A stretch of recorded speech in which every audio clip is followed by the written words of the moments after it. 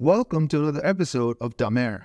Today, we'll be delving into the intriguing story of the Boeing X 20 Dyna-Soar, an experimental spaceplane program that captured the imagination of the world in the late 1950s and the early 1960s.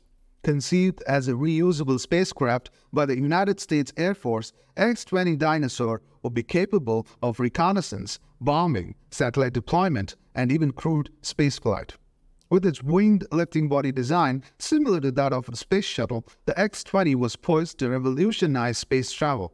Its wings were intended to provide aerodynamic lift during re entry, enabling controlled flight back to Earth, a groundbreaking feat for its time. Launched into orbit atop Titan III rocket, the Dyna-Soar would have completed its mission in space and then re entered Earth's atmosphere, gliding back to the surface.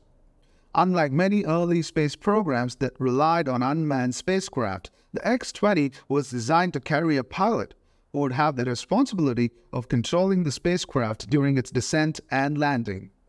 The X 20's rapid re entry into Earth's atmosphere subjected the spacecraft to intense heat making the development of a reliable thermal protection system a crucial challenge.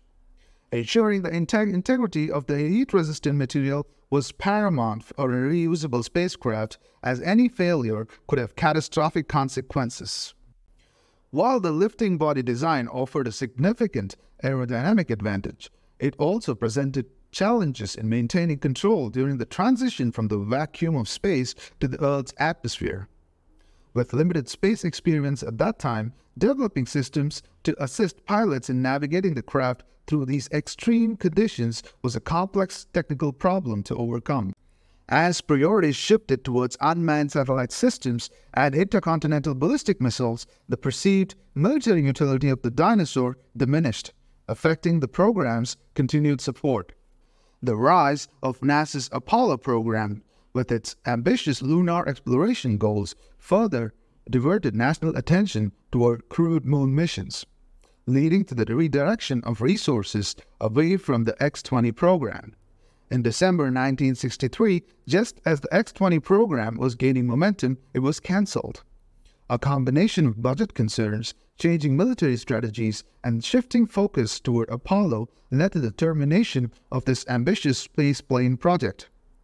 Despite its untimely demise, the X 20 Dyna-Soar left an incredible mark on space exploration.